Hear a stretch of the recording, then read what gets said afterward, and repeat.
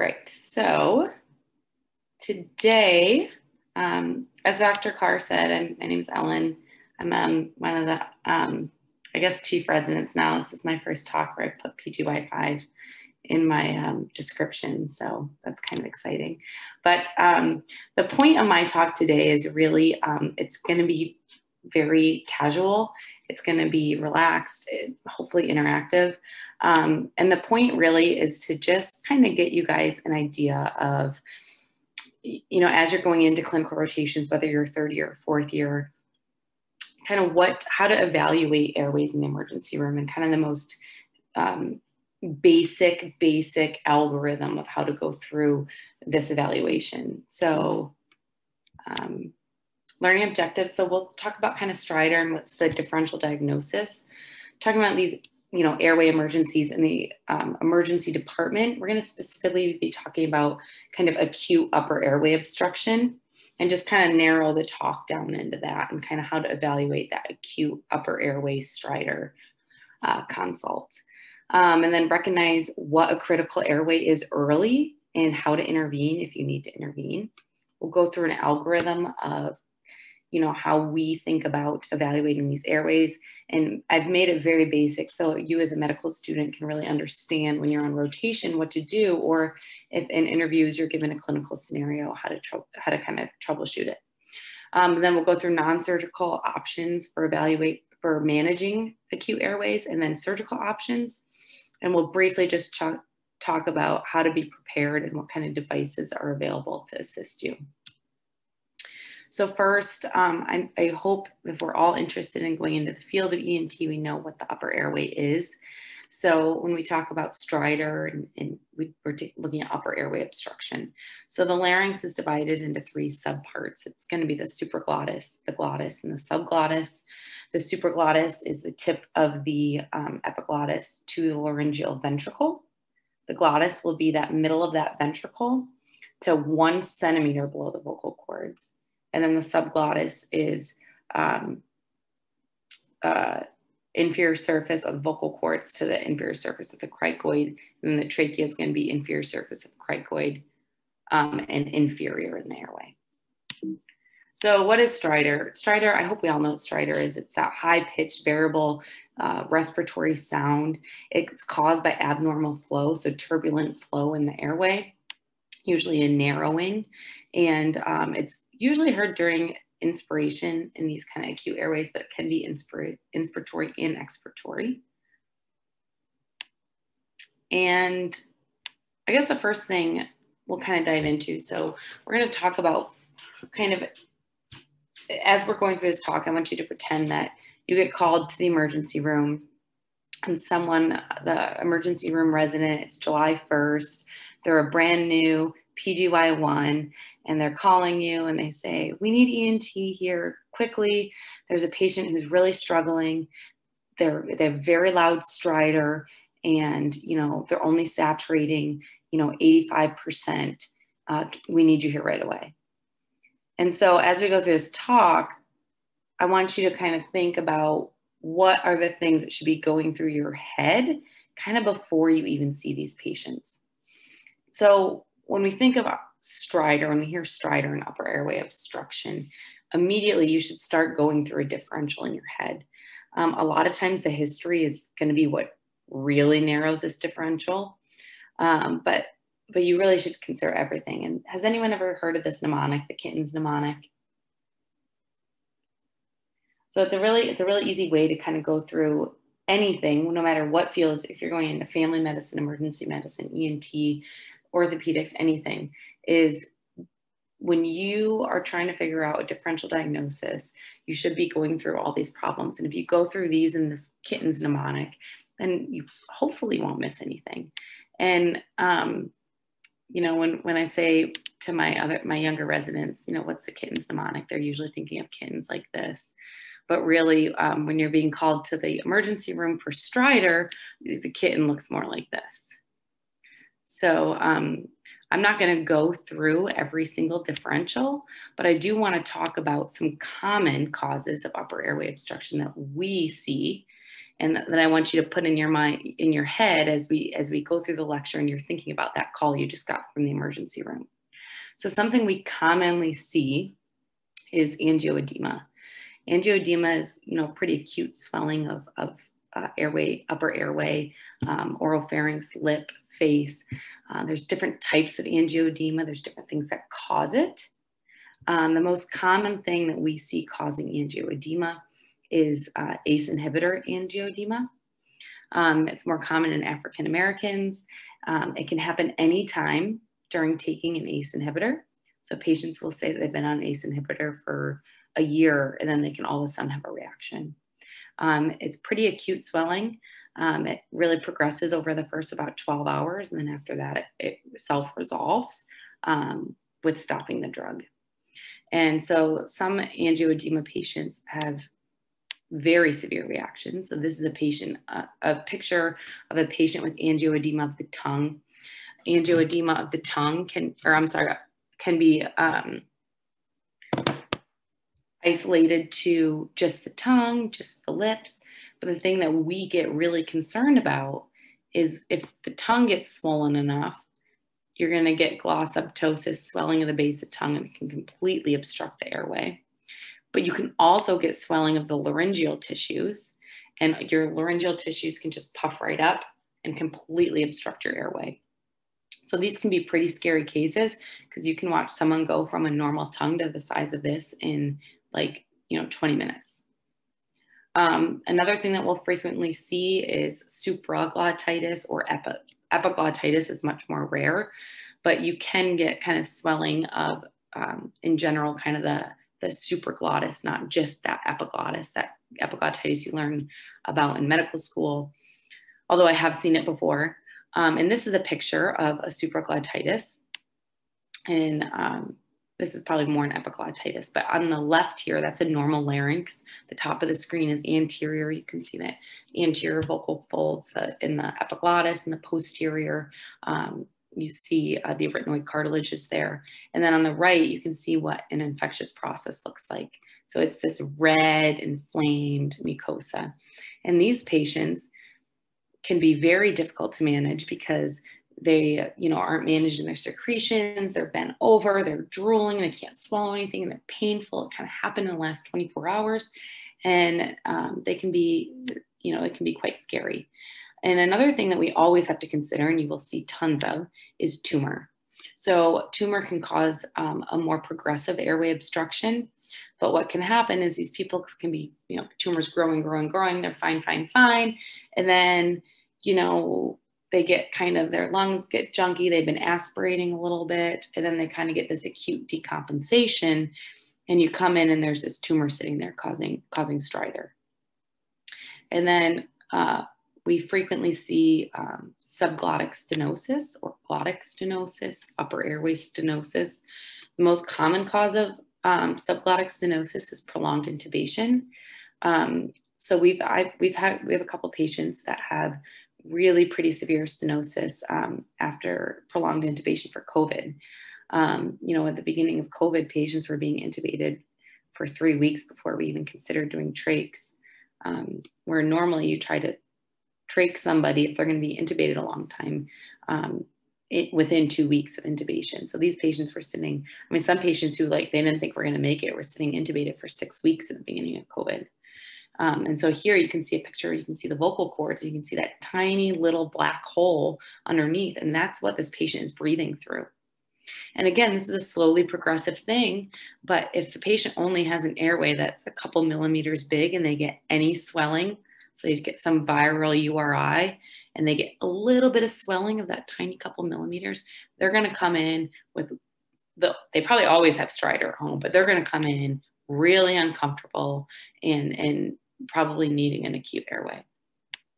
And something you always have to consider is trauma.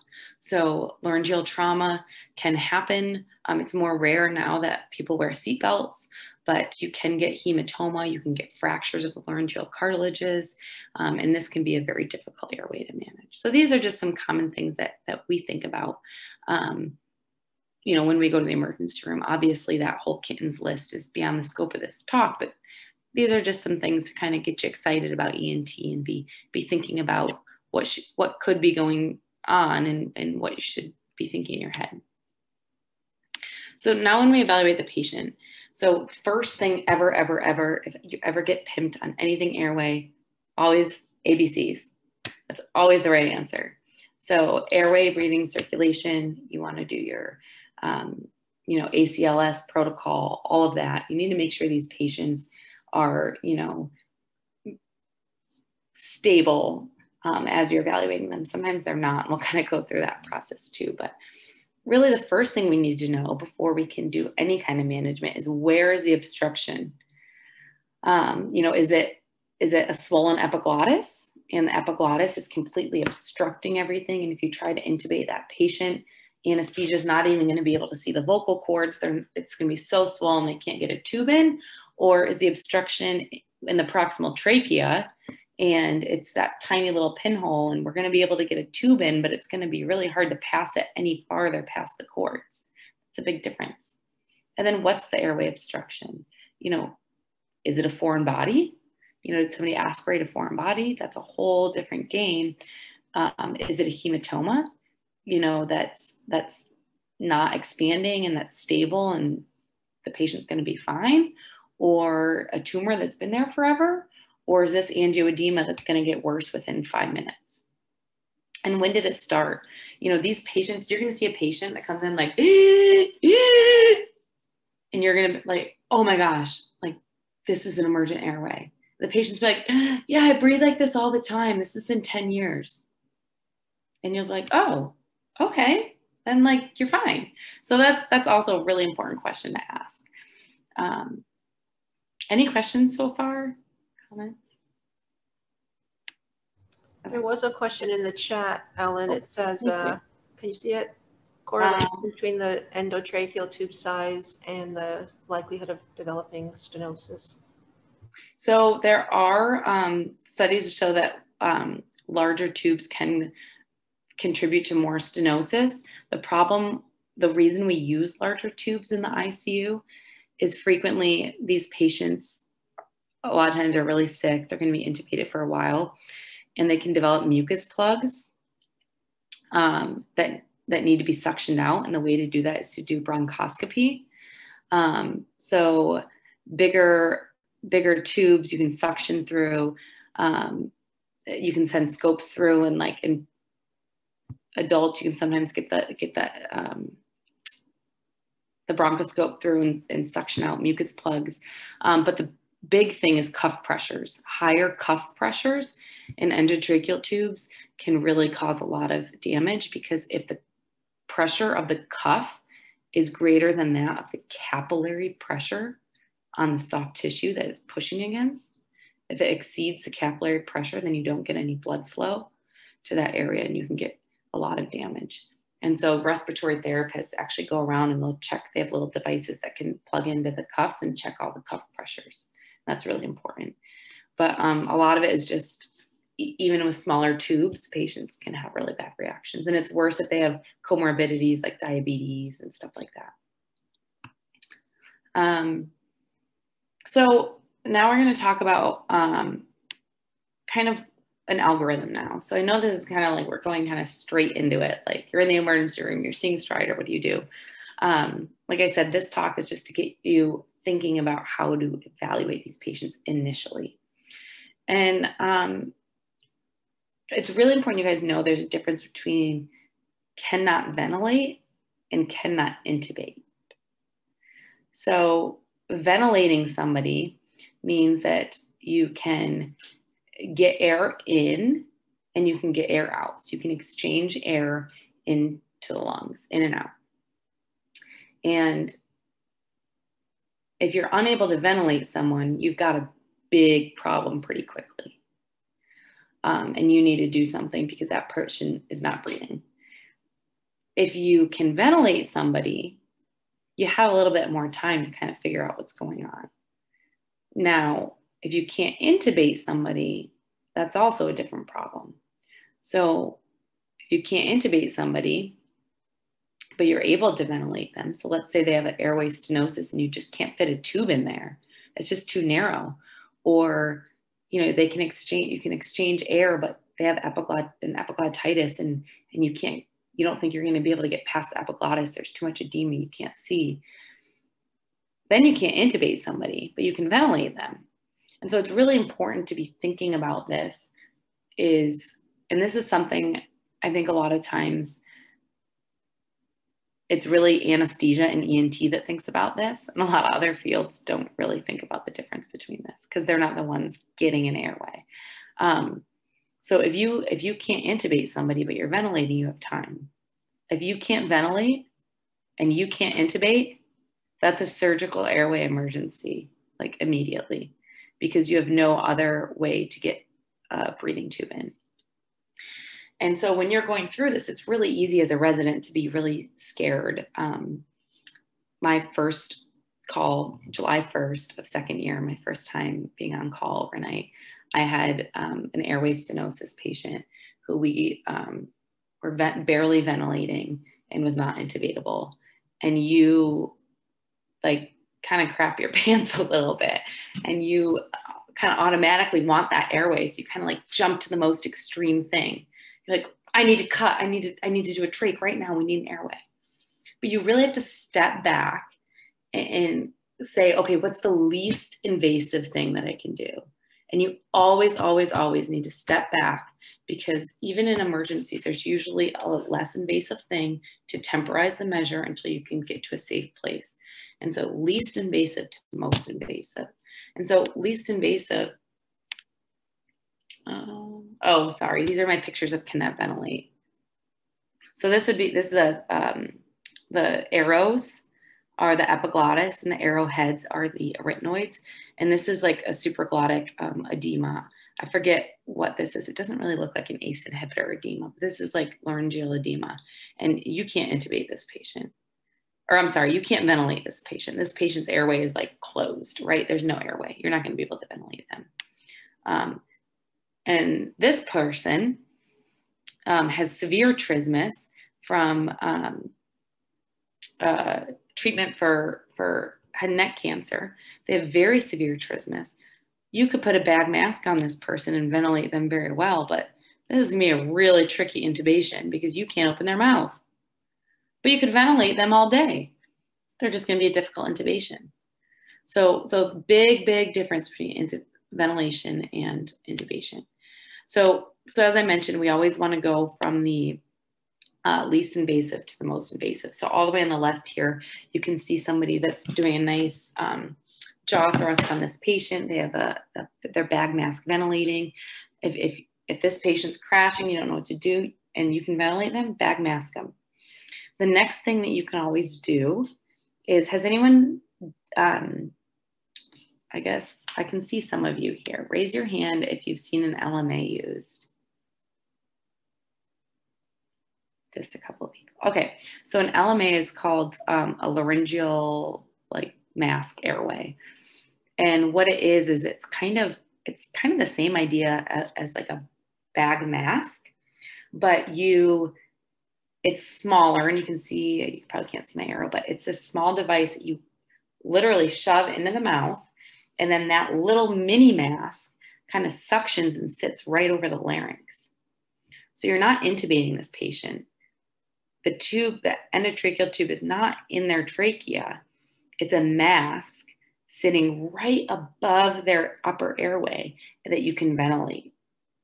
And so this would be a really good option if you can't intubate somebody. For some reason, you're having str- trouble getting a view, you can't get through the cords, something happens you can shove this in and try to ventilate that way. And then the most invasive thing all the way on the right there is going to be um, if we need to cut. So if you can't ventilate, you can't intubate, and this patient's crashing, then you need to cut and get an airway. Um, does the raised hand mean a question, I think?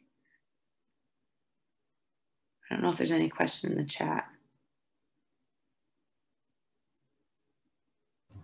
No. I don't think there's any new questions in the chat. Okay. Okay, good. Sorry, I'm having having trouble navigating all the different screens and stuff. Um, okay, so now we're going to kind of talk about the, the a, a, very simple algor- algorithm that you're going to be thinking of when you walk into the room. Um, so this patient has stridor. They call you, come see this patient. You don't really know anything about them. And so the first thing you want to know is, is the patient breathing?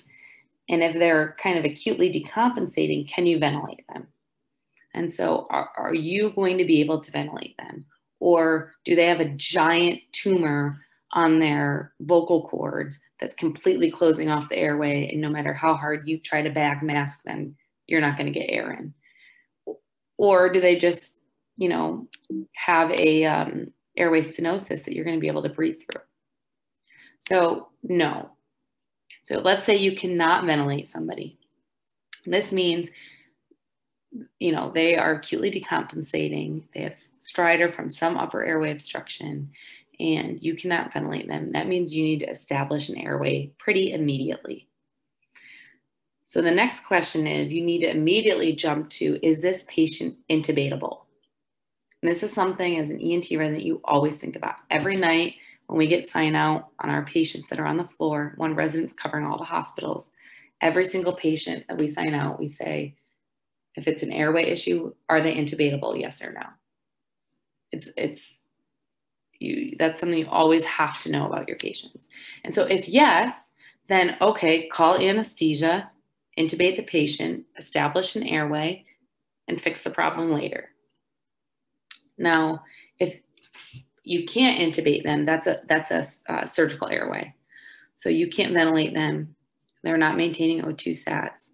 They're not able to be intubated. That means that you're going to need to do a um, uh, a cricothyroidotomy. And this is in the cricothyroid membrane. Um, it's kind of the most avascular plane, the easiest, most palpable landmark. And it's the easiest way to get an airway in an emergency. And again, that's kind of beyond the scope of this talk, but you'll hear that term in um, the future, I'm sure. And so let's say now you can ventilate them. So if you can ventilate a patient and they're, you think they're, they have an acute airway emergency, you want to safely ventilate them until you can get a team together, get tools to help you, and have a safe, controlled plan. If you can ventilate a patient, you have time. You have time to plan how you're going to get that airway. Whether you need to, whether you're going to intubate that patient, or if they're not intubatable, if you're going to do a surgical airway, you now have time. And so this might be one of those patients um, who, let's say, has um, supraglottitis, they're really swollen, they're ventilating, you're able to ventilate, they're breathing, they're exchanging air. You, you know that you put a bag mask on them, you're going to be able to ventilate them. Call in your attending, you call in your senior resident, and you say, We're going to go to the operating room and we're going to intubate in a controlled setting with anesthesia there. We might use a fiber optic scope so we can really uh, have control over where we're going, and we're going to get to the OR and do it safe. So that this patient has access, they have a view to the airway, they have ventilation, best case scenario, that's when you're going to do an awake intubation. Again, the patient will be mostly awake when you do this, because if you put them to sleep, that little bit of control you have, that little bit of ventilation that you're able to maintain, once they go to sleep and all their muscles relax, you can really lose that. Um, once they're not able to protect their airway, you can lose the airway pretty quickly. So we actually keep these patients awake when we intubate them. So let's say you don't have access, you don't have a view, um, you know, or the airway stenosis is right below the vocal cords and you no way you're going to get an endotracheal tube in. You need a surgical airway below the stenosis. So you don't have access, you can't intubate. And this is when you're going to do an awake tracheostomy. You can't intubate this patient, so you can't put them under general anesthesia. If you sedate them too much, their airway that they are maintaining may collapse and they're not able to protect it. So this, you're going to keep this patient awake. You're going to do it under local anesthesia, and you're going to um, get an airway in a controlled setting in the operating room while they're awake. Any questions about this algorithm?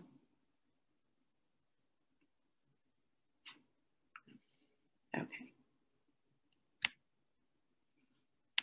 So um, non-surgical options, as we mentioned before, you're going to go from uh, least invasive to most invasive. So um, least invasive, give them oxygen. Next, try to bag mask ventilate them.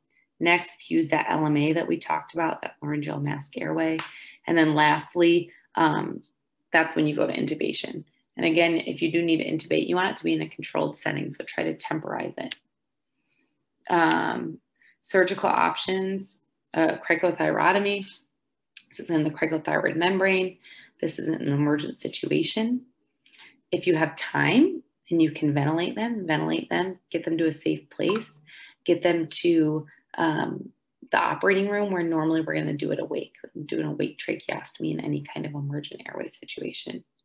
And again, I think we kind of answered this question like, why do we keep the patient awake? We keep the patient awake because you want them to be able to maintain their airway. And if you relax them too much, you can have collapse of soft tissue, musculature, all that, and you can lose any kind of reserve that they have.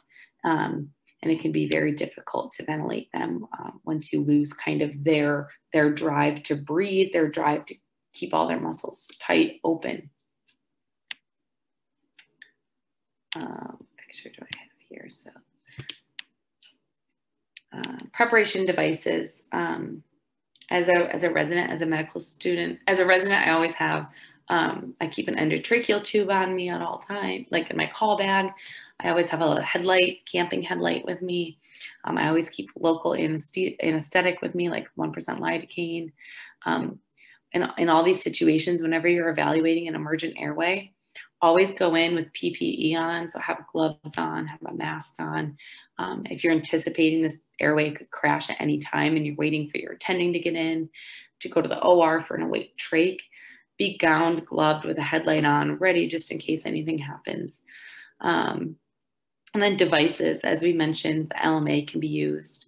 Uh, the GlideScope is a tool that anesthesia frequently uses. You can see on the lower left picture here. Um, it's just a laryngoscope, an intubating laryngoscope with a camera on the tip. Um, and so it just gives you um, a video kind of view of the vocal cords and can help assist in a, in a difficult airway intubation. And then fiber optic scopes when we use this flexible scope um, and we can we can better control, you put the, you use it as a stylet and you put the endotracheal tube over it and you can use it as um, kind of a guided stylet to get into the airway. And so those are just devices to be aware of. Again, I'm sorry if a lot of this is over your guys' head if you guys haven't started rotations yet. But they're all things you're going to see them on your anesthesia rotation. Oh, yeah, I remember that lecture. I saw that so pearls of wisdom, stay calm. Um, when the ENT resident or the med student or the ED resident, anyone in the room is freaking out, it does no good. You have to take a deep breath and stay calm and clear, very clear communication. You know, even as a med student, if you're going to see a consult with your um, more senior resident, hey, what's my role in this? What do you want me to do? Like, we don't want you to do anything. We want you to stand in the corner and watch. Great. Now you know to stand in the corner watch. Or, you know, your job is to hold the light. Make sure you have a flashlight. You're the you're our light. Okay, now you know. So so it's very important to have very clear communication in any emergent situation. Uh, be aware of the algorithm. It's it's be flexible. Um, the patient, anything you do is going to change based on the patient situation, and it can change on a dime. And then this is my plug for ENT if anybody isn't sure if ENT is the best field, it is because um, it's really cool. As an ENT, you have the most intimate knowledge of the airway. You are the kind of the only trained person really that has the full range of skills to obtain a definite airway and to evaluate that airway before you get that definite airway. Um, and so people really look to you for guidance in these scenarios um, you kind of get to like walk in and everyone's like, oh, ENT's here. Okay, ENT's here. And it's just, it's a really rewarding, cool, cool place, um, cool way to feel. And, and I don't know, you feel like you're, you're doing something that makes a difference. So um, also remember that you are the, as a, as an ENT resident, we are the experts on this. So whenever we get called, like you always go. If you hear anything if you're on rotations and you ever get a consult for stride or anything airway related, it's always an emergency until you evaluate it. Um, and then I had some cases ready, but I don't think we have time for cases. Um, yeah, we'll stay on time here so that we don't go over. Um, any questions for me? I meant this to be more interactive. I thought I was going to get to my cases sooner. There is a question in the chat. Uh, I lost the chat. I got it.